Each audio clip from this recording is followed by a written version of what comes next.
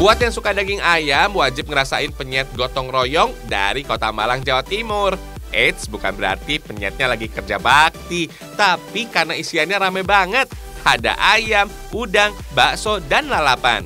Jangan dikira sama dengan ayam geprek ya, ayam penyet berbeda sebenarnya hidangan ayam ungkep bumbu kuning. Setelah digoreng, disajikan bersama sambal di atasnya. Sedangkan ayam geprek terbuat dari ayam goreng tepung yang dikasih sambal.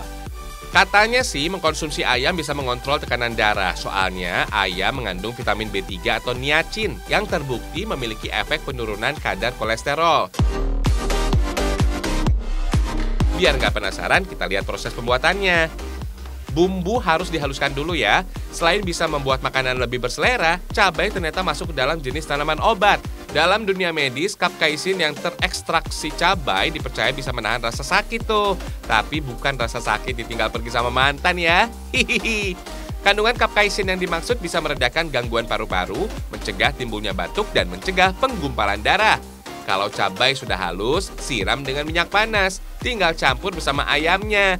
Jangan lupa penyet-penyet deh. Hmm, mantap.